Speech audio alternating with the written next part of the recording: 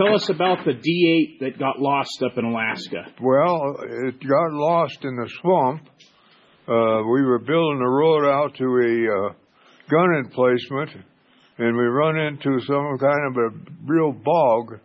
And the guy that was pushing the dirt out in there got out too far. It lost the whole damn thing clear down in that swamp hole. It sunk down in there, and they drove rods down to see how far it was down there, and it was about 15 or 20 feet. So they brought in a drag line to try and dig it out, and that didn't work. It just kept coming in.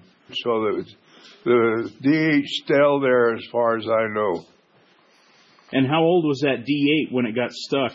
Well, that was a, uh, probably a 45 model, 44 So- somewhere in there. At the time, about eight or ten years old, because Yeah, you were there when. in the 50s. Yeah. Yeah. And what were you doing up there in Alaska?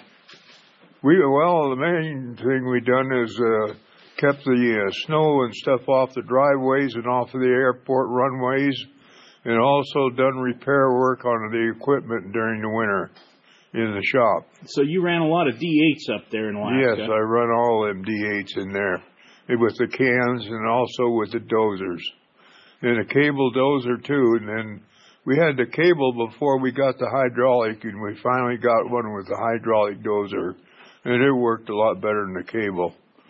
So a little improvement sure helps. And what was your job up there? My job was mainly to, to maintain uh, some of the equipment and stuff if, if it needed repairing, and also to keep the snow out of the depot yard, which I used the D8 in a can, 15 yard can to haul the snow and pile it on a pile. And I had a, at the end of the winter, I had a pile of snow about, uh, I'd say 200 feet long and about 30 feet high. And and you were up there as a combat engineer during the Korean conflict. That's right. That's right. 38th Engineers. 38th Engineers. Really cool patch, a polar bear. Yeah.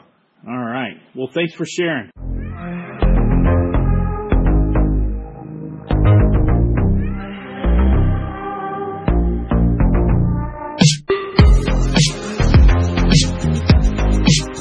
Thank you.